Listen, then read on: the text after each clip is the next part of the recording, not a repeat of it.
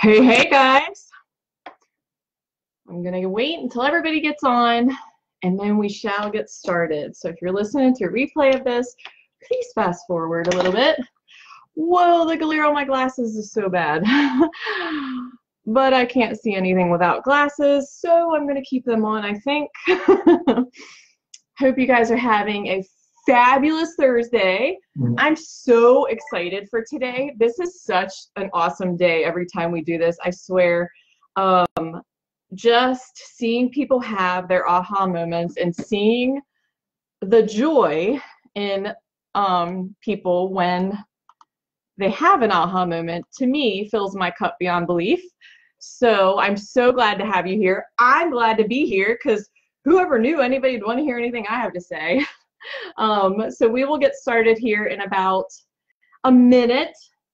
Um, Jen did such a good job. So if you guys did not listen to Jen, if you just came in, please go listen to Jen's training because she is like the truth dealer, man. That girl um, gets me fired up. And she, thank you for introducing me so sweetly, Jen. I am so lucky to have friends that like me. because sometimes you know like we can all be a handful and it's nice to have good friends who just love you for who you are. So thank you for introducing me jen. Those are super nice things to say. If you want to know more about me just go listen to her training. I don't want to spend the time talking about myself. Um, just a couple things you don't know maybe or maybe you do. I'm a sloth lover. I am a jeep wrangler driver. I am i love kung fu movies. I love star trek and star wars. Um, just a total random person. I listen to reggae music, um, and then you'll hear me listening to Beastie Boys, and then you'll hear me listening to Biggie, and then you might hear me listening to country. just a totally random person. If you ever need random common knowledge, come to me because I know about the dumbest things ever, and I will educate you on the dumbest things ever. But you know what else I know? I know about Scentsy. And I'm here to help you guys find your passion and your joy. Because guess what happens this time of year? Okay, I know you guys are all going to be like, uh huh, uh huh, uh huh. so what happens is, is that we're coming off this like, so we don't really have a slow season, but we're coming off of this super busy season from Christmas, and we're like, oh my gosh, what just happened? And then we start thinking things in our head, right? We start telling ourselves people are out of money they don't want to spend after christmas we start telling ourselves all these lies and we believe them just because maybe two people told us that. We're like well the other billion million trillion gazillion people in this world are broke too because i asked people and two of them told me that they were broke from christmas so it must be true. Not really guys I have people that seriously live on Social Security income that will come to me every month and buy Scentsy. Um, is a great product because it's consumable. Nobody can duplicate it. And people always come back for more because they want their house to smell good, right? We're not selling a weight loss, you know, supplement or anything like that. We don't have to tell anybody that they don't look good. We just say, hey, you want to smell good? You want your family to smell good? I gotcha. How cool is that, right? So let's get right into the training because I've got lots and lots, lots of stuff, lots of notes. Again, I hope you guys are having a fabulous day. I'm Andie Teeter. I'm a superstar director. And um, I've been a superstar director for about a year and a half, 2008, 17, September 2017. I, I believe that's when I hit it. Um, and I'm so lucky to know all of these lovely people that are about to train you today. They have such awesome things to say. So I hope you tune in, take notes. Um, they're all going to be recorded, so they're going to be here on the page. And um, yeah, and I also want to say, say thank you to Candy Hine because Candy had this idea and came to me about starting this page, and I thought it was brilliant. And I was like, I want in, I want to help you. So we became partners, and I just want to say thank you, Candy, for being the awesome friend and person you are. So let's get started how do you find joy in anything really, including your business, right? So, how do you find joy? How do you find passion again that you once had? I hear so many people complaining this time of year because, again, a lot of us, you know, we go through maybe slower times, right, um, after Christmas, and we need to rebound for the new catalog.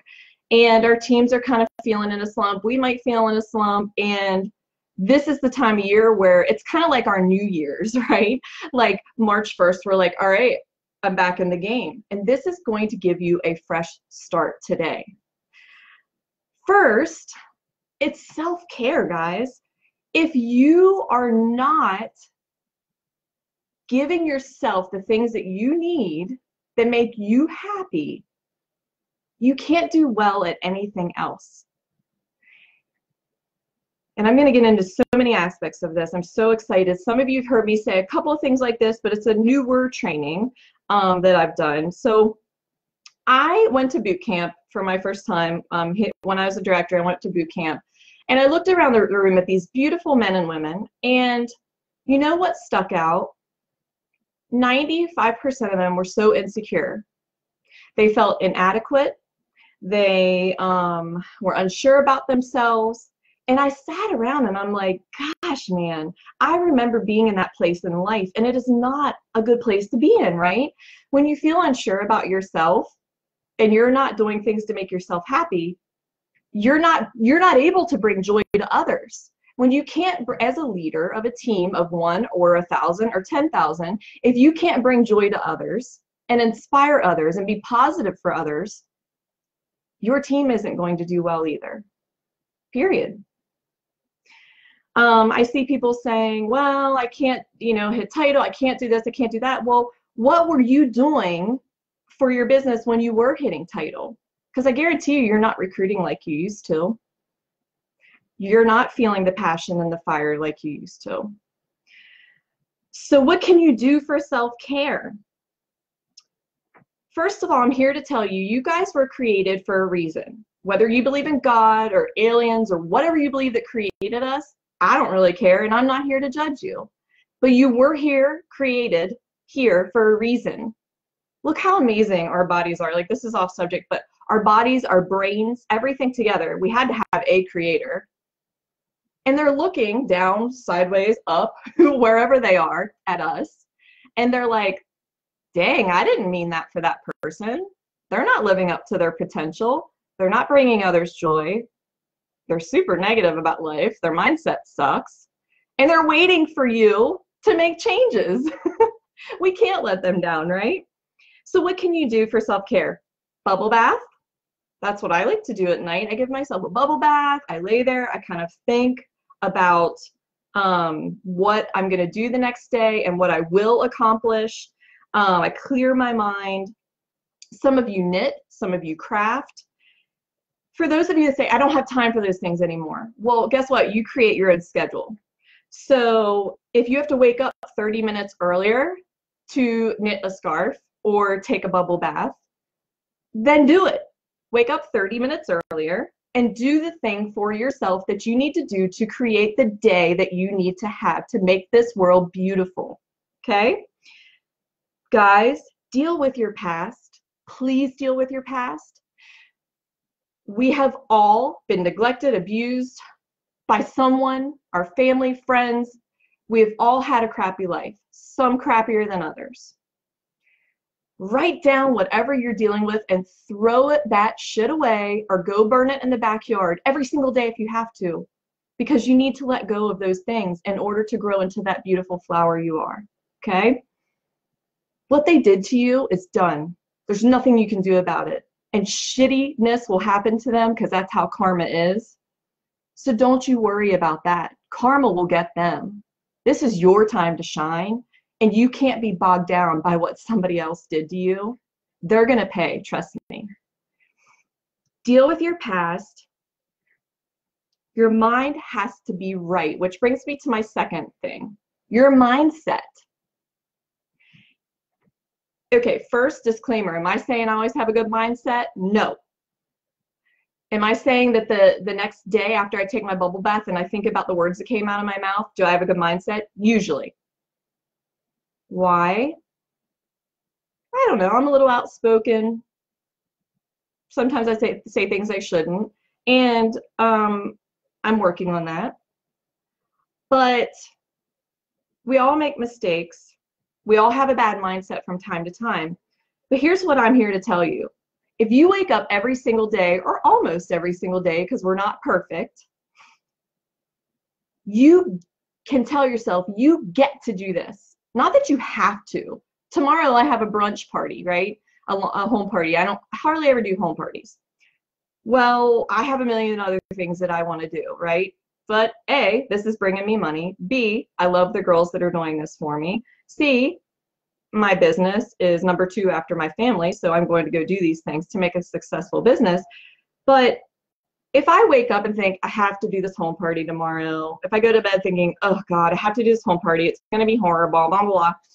But if you wake up and you say, damn, I just woke up, I'm breathing, I get to do this home party. I get to do follow ups. I get to go to this party and meet new people. I get to drive to this party in my car that I pay for. I get to go to this home party. Not that I have to, you get to do these things. If you change your mindset to think that, beautiful things can happen, guys. Beautiful things. The other thing we heard Heidi touch on, um, and it's also in a book, I can't remember the name of the book, the mindset book, but if you say you haven't or you you're not this or you're not that, um, it brings a bad mindset, right? So Instead, say, I haven't yet. I haven't hit director yet. I haven't recruited 10 people in a month yet. I haven't had a $2,000 a month yet, right? So shift that mindset, guys. It ain't easy. Trust me. I know that some days you want to wake up and you seriously want to cut everybody. I trust me. Trust me, I know. But guess what? Some people might not like it. I got two people blocked on Facebook. You know why? They don't bring joy to my life. Every time they talk, I feel like seriously throwing up. If you don't, if they don't bring joy to you, block them. You don't have to see them. You're a grown adult. If something doesn't bring you joy in your life, don't do it. Okay? Like if something doesn't bring, if you don't like making samples for Scentsy, don't do it. You don't have to. I hardly ever make samples, and I'm here, successful. So you don't, you don't have to. If it doesn't bring you joy, don't do it. Um, and why do I tell you these things? Because again, guys, if I can be here as a superstar director and a big hot mess, you can too. Always have faith. And I know this is hard sometimes, but always have faith Scentsy has our backs. Scentsy is a business. They want to make money. So just stop and think about this for a second. Scentsy is a business. They want to make money. We own businesses. We want to make money.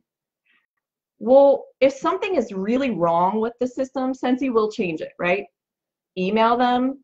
Um, email Heidi, Orville, Chuck, whoever you need to.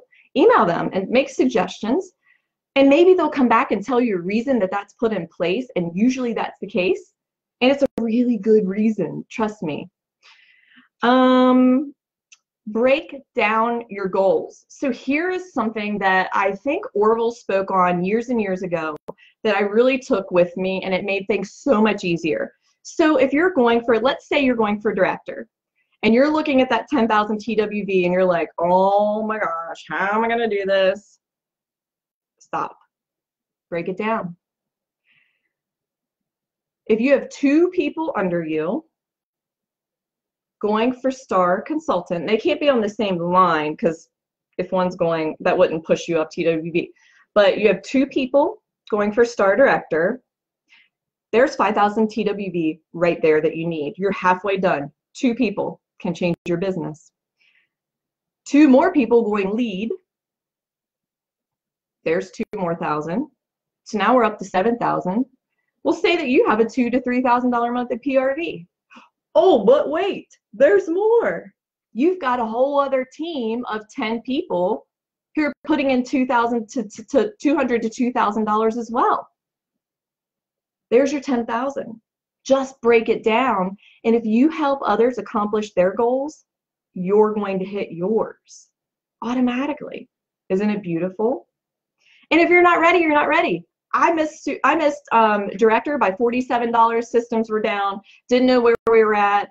Um, it is what it is. uh, instead of complaining to Scentsy and you know whatever, I just got up, I cried a whole bunch, and the next day I was like, you know what? I need to recruit. I need to grow. I need to. It's not anybody else's responsibility. I need to do these things. I need to recruit two to two or more a month, and I need to put in 2,000 or more. Why do I want to put in 2,000 or more? Number one, that's a great cushion. You get a, a 5% bonus when you put in 2,000. Number two, because if you are really following up with your customers like you should, and you're putting in your 2000 you're naturally going to be talking to more people and you're going to have a chance to plant the seeds and recruit to more people than you normally would okay um, let go of control guys learn how to delegate control freaks make me cringe and i'm sorry i'm saying that and if you're my friend and you're control freak i love you but your husband might mess up the laundry your wife might burn dinner um, your boyfriend might feed the kids something that they shouldn't. You have to let go of control and learn how to delegate things if you want to be good in this business because you're going to burn yourself out if you don't. Your team is capable of doing training. So, how about bringing them on, asking other leaders to do trainings for you? Don't put it all on yourself, guys. Don't put life on yourself. There's tons of people that are willing to help you. You just have to ask. Take a break, not from your business. Take a break from social media, games, shows, Netflix, and fill them with revenue generating activities. What are revenue generating activities? I'll tell you in a second. Who's your circle of five? We've been hearing a lot about this. Who's your circle of five? Who are the people that make you feel better, people that do better than you so you can look up to them. If you're looking up to people and you're comparing yourself and you're like, oh, I'm never going to be there, they do good, I don't. But if you change that mindset and you're like, my friends do better than me, that is lifting me. Okay? They are encouraging me to do better. It's all about your mindset, guys. You want to be around people that are doing better than you. I surrounded myself with people that did better and wanted better because I wanted better. And I learned from them. I asked them, What are you doing? And I still ask them. I don't know everything. I still ask them all kinds of questions. And people that are up and coming, I'm like, What are you doing with your business? I want to know. I always want to know how to make it better. So, what are revenue generating activities? Number one, are you meeting new people on a weekly basis? After all, we're in network marketing, aren't we? Well, you can't succeed in network marketing if you're not networking. So, where are you going? If you're going to the post office, who are you talking to? Are you getting to know them? Are you building a relationship? Are you finding ways to keep in touch with them?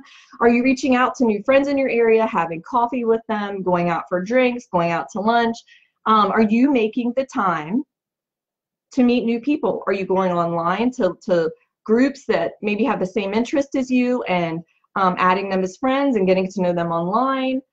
Um, if you're playing games, are you meeting new people within those games? If you're online on Xbox or whatever, are you meeting new people and finding ways to keep in touch with them? It's not so. Um, one of our teammates, Christy, she said the other day, she has been chugging and pushing for a director hard. And she said she had to stop. And instead of focusing on when am I going to talk about Scentsy when am I going to talk about Scentsy whenever you're talking to someone, actually just talking to them, making friends, getting to know people. And if Scentsy's naturally going to come up, guys, they're going to ask you, you you're going to be wearing a Scentsy shirt, um, you're going to be carrying a Scentsy bag, you're going to be wearing a Scentsy hat, you're going to be talking about what you do for a living, and it's going to come up naturally. Listen to them, get to know them. What's their favorite color? I don't know. Do they pick their nose? Do they wear, I don't know. Do they wear jackets in cold weather? I don't know. Just get to know them. Open your mouth and ask questions. Don't do all the talking. Um, so meet new people is a revenue generating activity. Two, follow up with oh by the way networking is about your team too building relationships with your team not just customers by the way. Following up.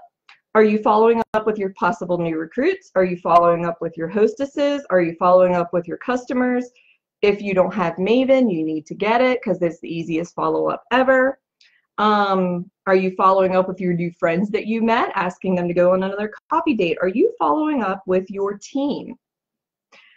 Are you planting seeds with these people about the joy that Scentsy brings you, whether it's pay, travel, friendship, um, flexibility? Are you follow? Are you following up with them and and planting these seeds?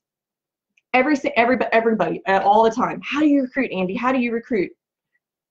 Well, I mention it to people and I mention it to every single person. It's probably a joke where I live that I've asked everybody's everybody here. They're probably all getting together as friends, like, oh, she asked me to join too. because I literally say, have you ever thought about doing this? You'd be, well, if they're not going to be good at it, I don't say you'd be awesome and I don't ask them. But if they're friendly and I feel like they're willing to learn, and they love Scentsy already, or maybe they don't, and they're looking for a business, I say, have you ever thought about doing this? And then I trained myself how to deal with the objections that they have the best that I can, which you'll hear today probably if you if you don't um, hear it today, go to my YouTube. I have it there. Somebody else's YouTube. Learning objections is super easy. You just you just shoot back with something positive. Number three, are you building relationships? So I guess this could have went in with the other two, but are you building relationships with these people? Your customers, your team, your hostesses. Um, for your team, are you working with the willing? Because it can burn you out working with people that don't want it. And if you've got a team full of people that don't want it, guess what? Go get more. Because there's people out there that want it. Trust me. Scentsy's growing, Scentsy's flourishing. You can see it in tons of people but you have to get the right people sometimes and it's up to you to recruit and teach your team to recruit um, if you have a call with a teammate that is negative then schedule a call with somebody else that's super positive right um, I gotta go quick because it's almost time. um, it's okay for people to vent to you and for you to vent to your upline, but always come up with a solution, right? Don't just complain to complain. It's icky you got to come up with solutions, right? Parties, recruits, these are revenue generating activities. Making samples is not necessarily, so it can be left out. Keep your parties fresh. Tomorrow I'm doing a, a brunch, mimosa kind of thing. And um, my hostesses, and I think we have like 15 to 18 people coming. It's an open house, it's two hours, it's 10 to 12.